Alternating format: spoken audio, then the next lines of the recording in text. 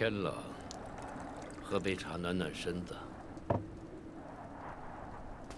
世子既然来了，不妨听我几句。你刚刚阻拦了一场战争，这对于世子来说，或许是一场壮举。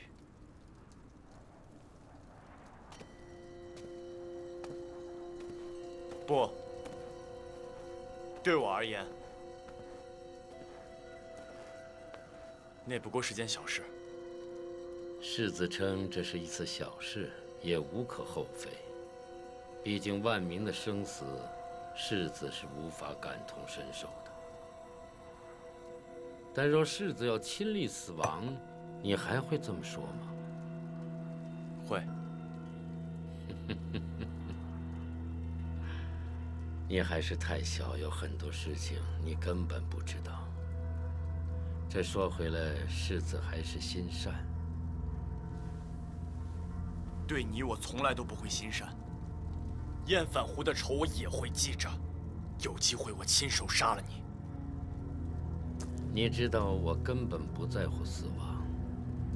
我之所以跟世子聊这些，也希望世子不要害怕。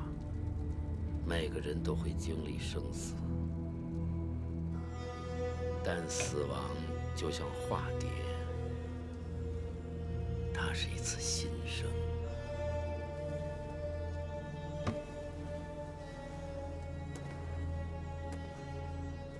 世子还记得那个卷轴吗？我曾经托人带给你，你没有好好看它。在这世间，有些东西，不管你看与不看，其实它都那份卷轴，我亲手烧掉了。有些东西，当你没有看见它的时候，它不会消失。记得之前你是和小周那个女孩一起见过的，现在该是打开这个卷轴的时候了。还是去你们那个熟悉的地方再次寻找他。你把我带到这里来，到底要干什么？如果我没记错的话，这里是世子自己来的，对吗？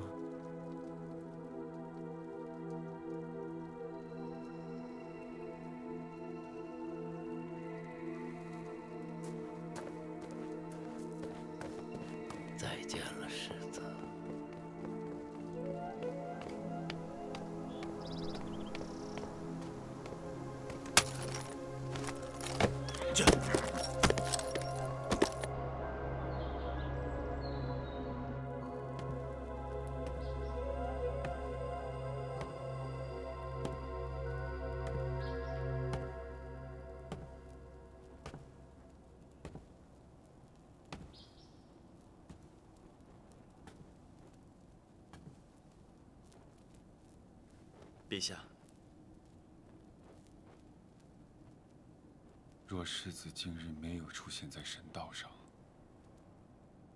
帝都就不是现在看到的这般模样了。归臣知道陛下的艰难，但归臣毕竟只是个局外人。这天启城太大了，归臣看不清楚。局外人。所以世子不让朕杀尹无疑。陛下是想把这个天启城变成战场吗？这天下早已处处是战场。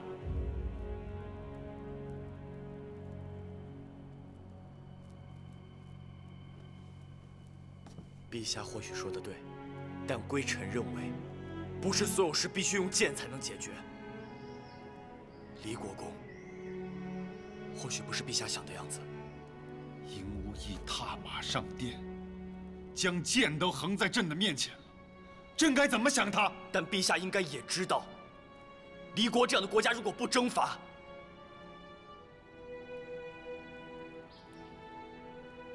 他们根本活不下去。征伐谁？征伐我吗？在他尹无义心里，从来没有把朕当皇帝。早知道一切都是突然。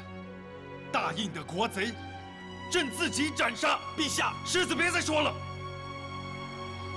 我答应的事，不需要一个局外人来操心。带上你的慈悲，回草原去吧。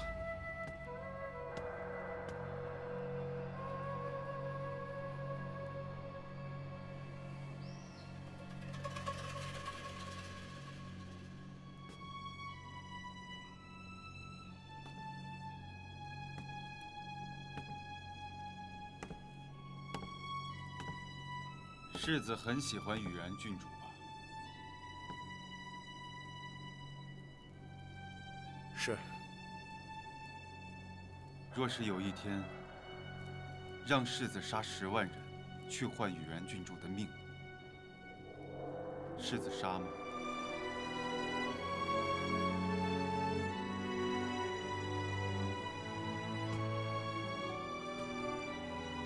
世子的慈悲。不仅是给朕的，也是给赢无义的。在世子心里，天下人都可怜。你手里握着天下最利的剑，而你根本就不想用。等你在意的人都死了，你手里的剑还有用吗？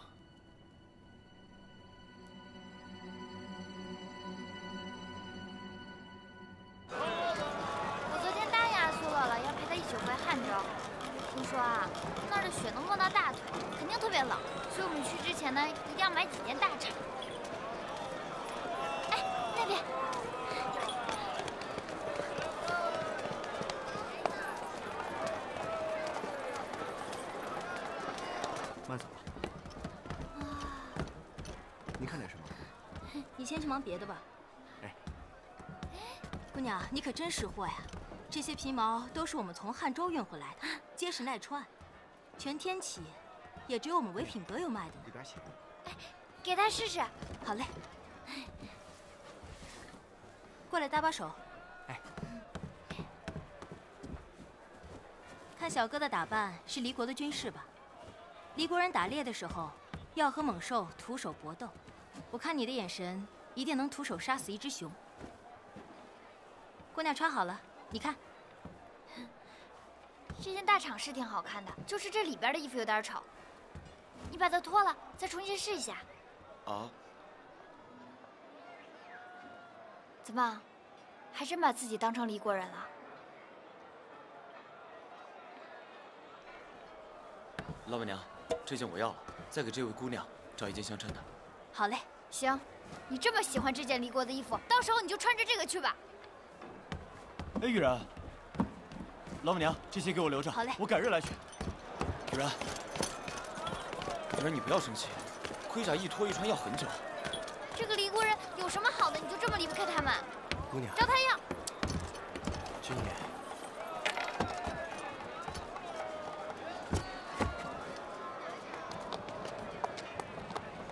我也是泥土里长大的，我和他们在一起，反倒是比较自在。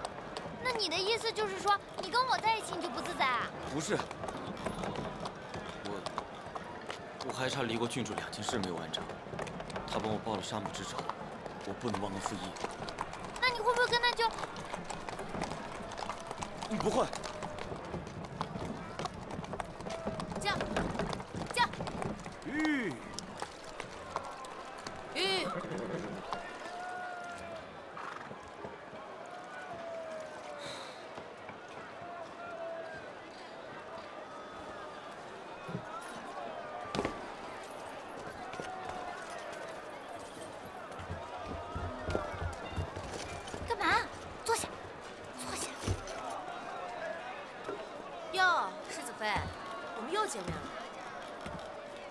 天天在家陪着你夫君，老往外头跑什么？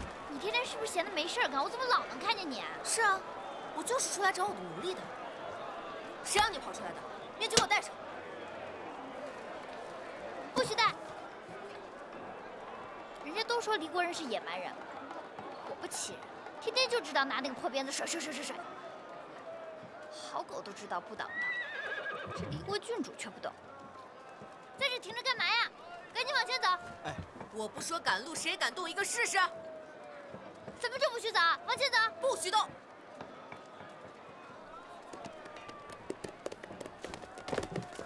两位大小姐，这车小的赶不了了，小的也是混口饭吃，请两位大小姐高抬贵手，放小的一马吧。要不咱们闭嘴！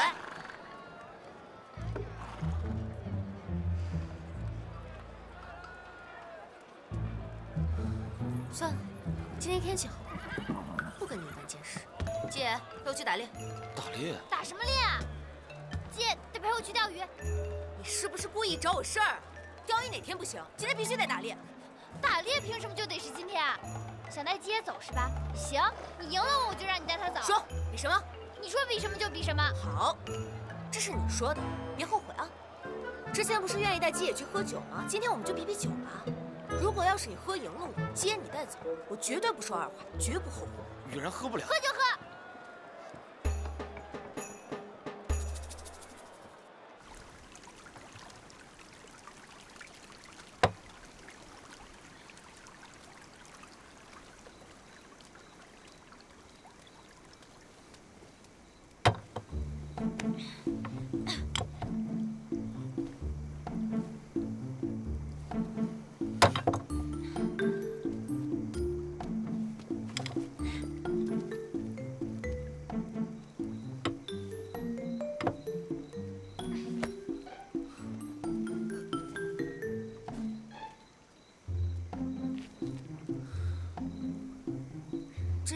酒啊，还是不够尽兴，是不是玉兰郡主？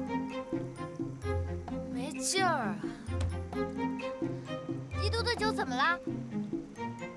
我觉得比你们离国的酒好喝多了。离国的酒又苦又涩，还土。哼，你喝过离国的酒吗？就这么说，你喝过吗？问你呢，你喝过吗？我怎么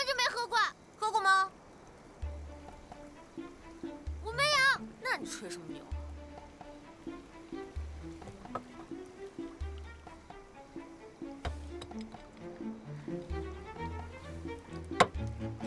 算了算了算了，唉，各花入各眼。女郡主，你的审美我也是真不敢苟同。你那么不喜欢我们，我们的酒，那你别喝。好，你的酒我不抢你的，那我捡回来的狗，你也别跟我抢啊。嗯，吉野，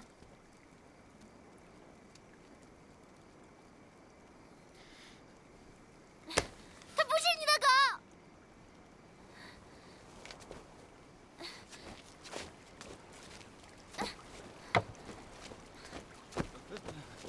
姐是我的，一辈子只能是我的。好啊，你让他是你的可以。喝酒，赢过我再说。喝酒。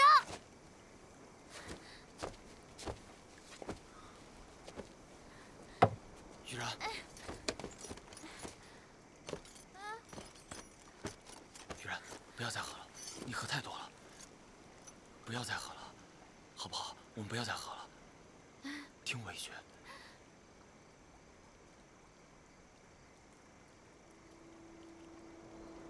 姐，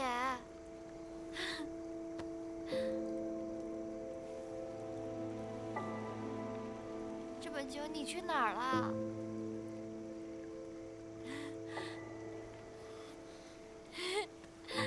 你回来了。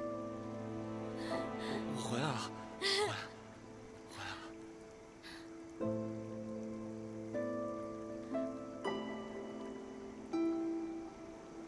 你能不能别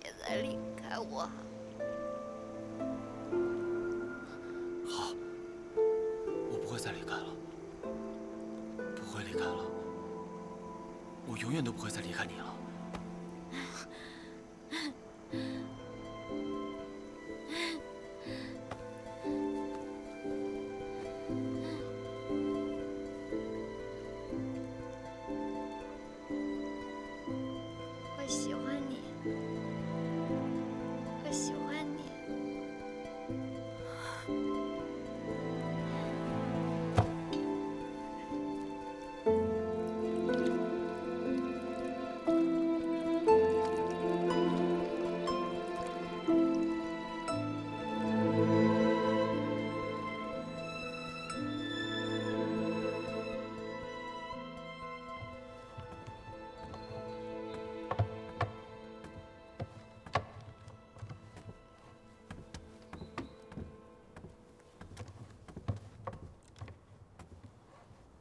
我帮你吧。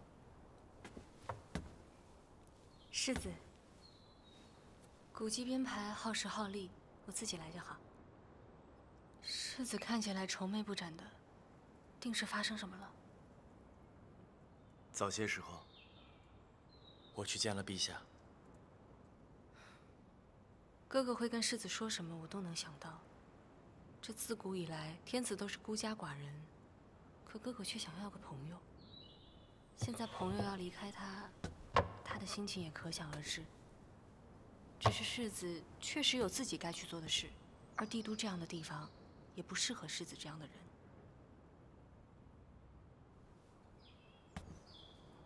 陛下倒没有埋怨我什么，只是我一直在想陛下跟我说的一句话。陛下说。我手里握着天地间最锋利的剑，却不想用它。但如果有一天我在意的人都死了，我空握着这剑，又如何？将来的事，将来再说。我跟哥哥不一样，我不觉得世子你真的是一个优柔寡断的人，你只是心里还没有想好。一旦你做下了决定，你就一定会是一个比谁都固执的人。希望我还能有时间想清楚吧。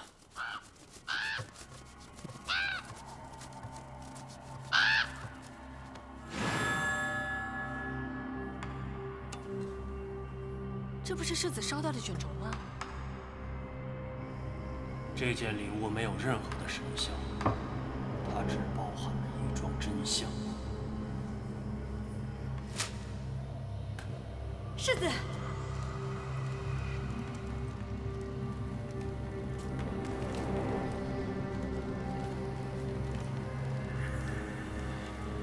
世子还记得那个卷轴吗？我曾经托人带给你，你没有好好看它。在这世间，有些东西，不管你看与不看，其实他都在。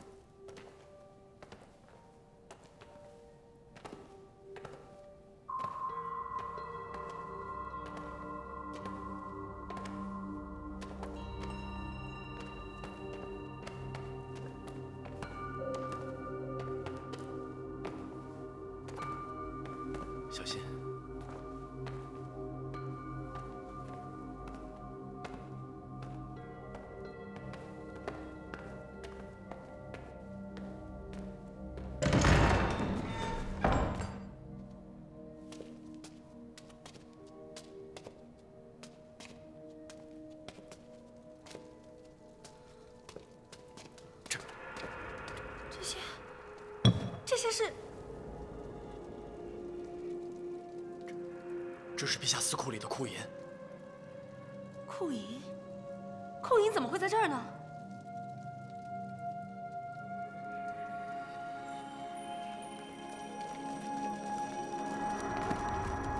拜见公主殿下，世子。拜见公主殿下，世子世子。你们，这里究竟是怎么回事？这里是陛下收缴贪官污吏私金的地方，只有陛下自己知情。我们也只是奉命相守。不过小周姐姐不是外人，我想陛下应该不会生气。可是这么大的事情，哥哥从来也没有跟我说过。陛下说了，小周姐姐每天要想的事情太多了，这种小事儿陛下一个人就能完成，不需要姐姐知道。我们从小就是孤儿，每天过的都是朝不保夕的日子，多亏了姐姐长送的米糕才能够活下来。对姐姐说的话，不敢有半句虚言。我想陛下一定有什么难言之隐，才没有告诉你。公主殿下不用挂在心上。今天时候不早了，我们还是先走了。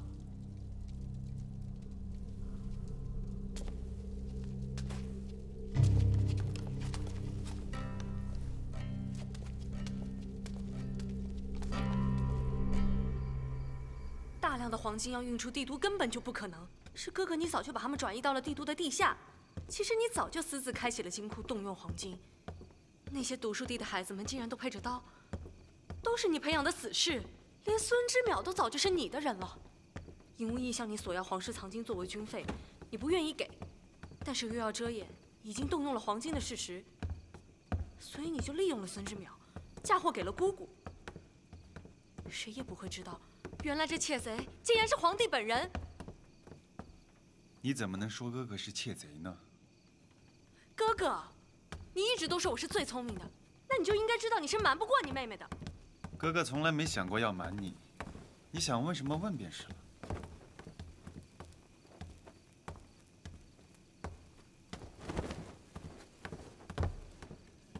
哥哥是从什么时候开始动用那些黄金的？六年前，朕意外的发现了一个可以自己打开司库的方法。六年前，六年前殷无义都尚未进入帝都，哥哥就已经动用了藏金，那就是为了为了抗衡姑姑，朕一开始只是动用了少量的藏金，做了那个读书地，养了几个死士。后来朕发现，黄金是个好东西呀，能买到死士，更能买到效忠于朕的人，便用的越来越多。再后来，尹无义问朕要军费，朕不想给他，便想着干脆把司库给搬空了。朕是白氏的皇帝，那司库本就是我白氏的。妹妹认为朕做错了吗？你想让朕像世子一样，握着剑空等，等到白氏的国祚都终结了再奋武，还来得及吗？可难道哥哥不知道，这战火一起就再也不能回头了？即使是你得到了江山，那也是个破碎的江山啊！破碎的江山也是我白氏的江山。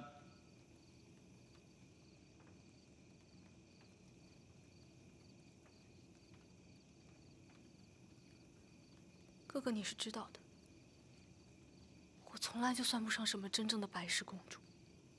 一直以来，我就只是你的妹妹而已。是因为哥哥跟我说，你想要做一个好皇帝，所以这么多年，我一直都竭尽全力的帮助你。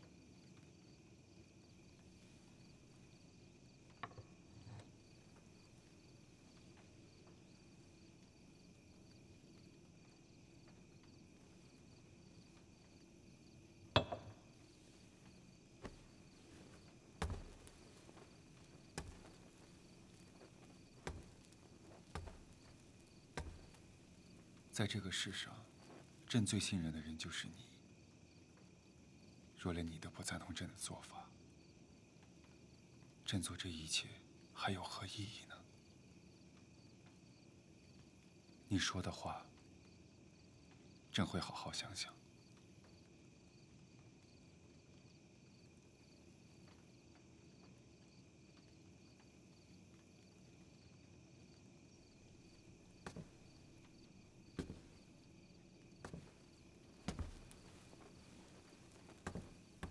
世子知道了吗？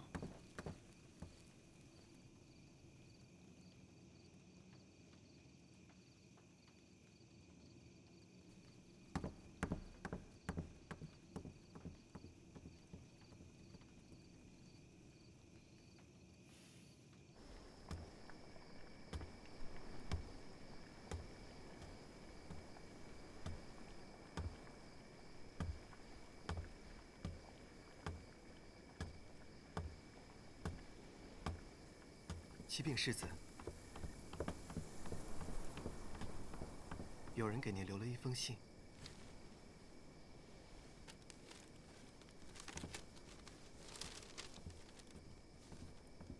今夜街市有青丘节灯会，我和姬野会在花街桥上等你，不来你就死定了。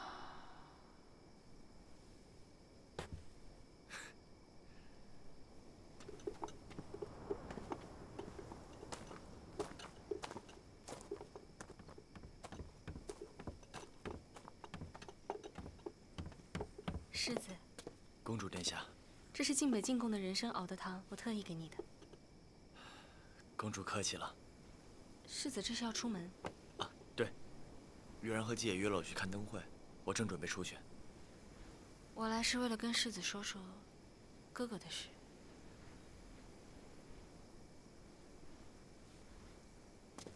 请。我去见过哥哥了，哥哥说他会好好处理之后的事。只是需要一点时间。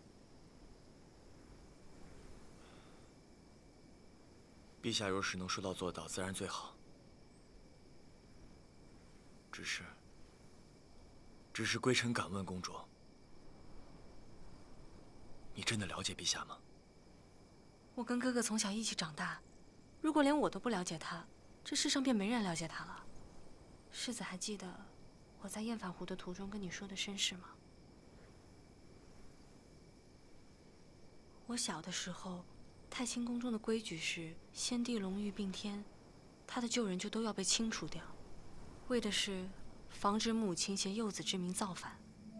皇家的规矩一向森严，当年若不是哥哥，我是根本活不下来的。他那时候刚刚继位，只是个傀儡，根本就没有实权。他看着那些先帝的旧人。被一个一个的拖出来处死，想救却不能救，可偏偏到我的时候。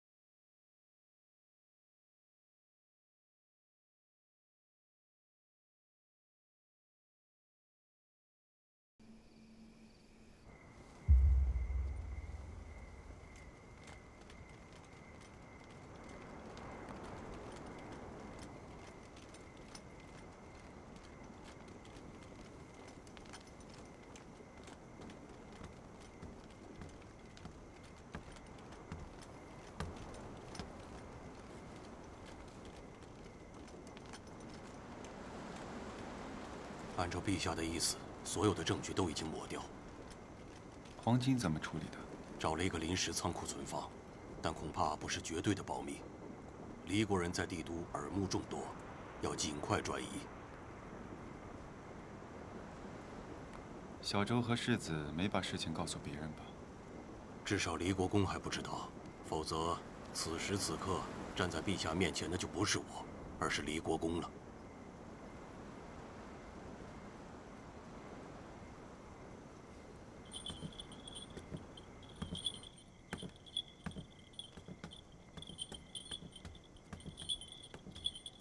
宗主还没来找陛下谈这件事吗？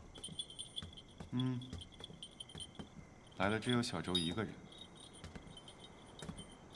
世子看似温柔，内心其实是很固执的。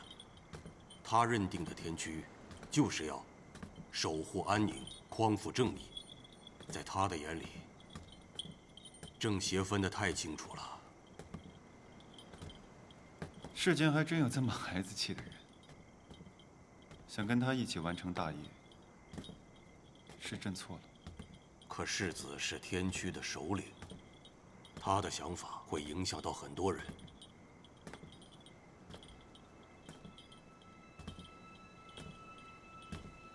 朕有一件事，想问老师很久了。陛下，请讲。大宗主和铁皇，谁才是天驱真正的领袖？自古以来。谁是苍云古齿剑的剑主，谁就是大宗主，其他宗主都是大宗主的追随者。可上一任的大宗主幽长吉身死之后，整整十四年天驱没有领袖，都是铁皇大人独自支撑组织。铁皇是经历过大事的人，想必他可以理解朕的不得已之处。我们若得到铁皇更多的支持，是否就可以忽略大宗主的意见？只怕没有那么简单。大宗主是苍云古齿剑的剑主，铁皇虽有威严，但大宗主只要站出来，铁皇恐怕很难调动天驱。唉，只是怕大宗主已经不信任朕。有件事老师还不知道。大宗主说他要回汉州了。他若置天驱于不顾，天驱武士们还会拥戴他吗？会。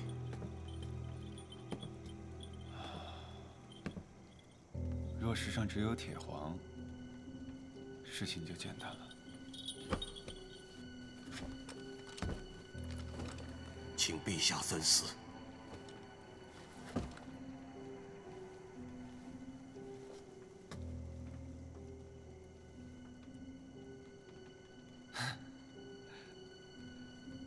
老师误会朕的意思了。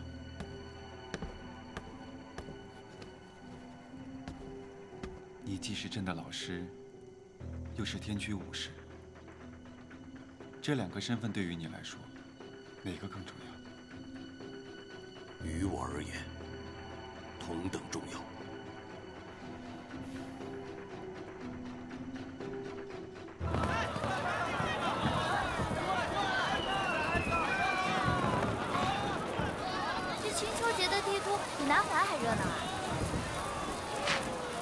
都说帝都是东路最繁华的城市，当然比南华热闹。谁跟你说的？在没有朋友的时候，再热闹的城市也一点都不好玩。有朋友在的时候，我看人家那小山村也挺有一番滋味的。哼。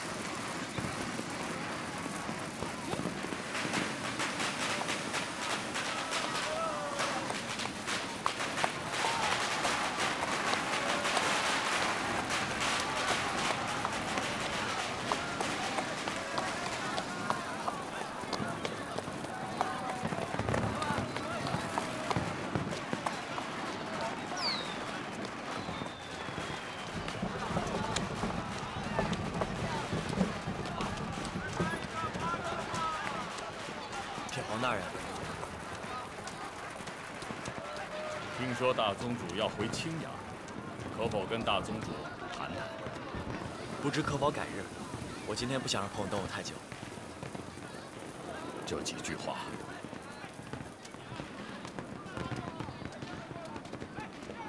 你里边请。来。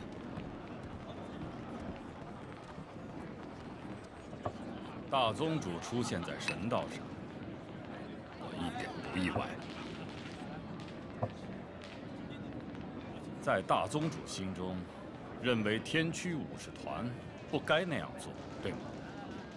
以铁皇大人的威望，您对天驱武士团的了解，肯定更胜于我。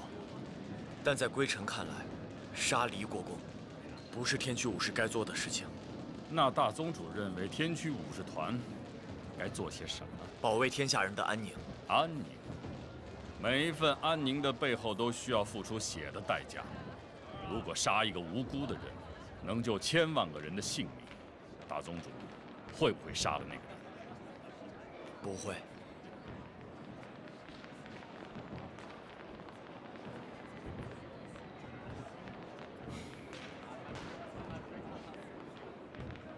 敬佩大宗主有如此坚定的信念。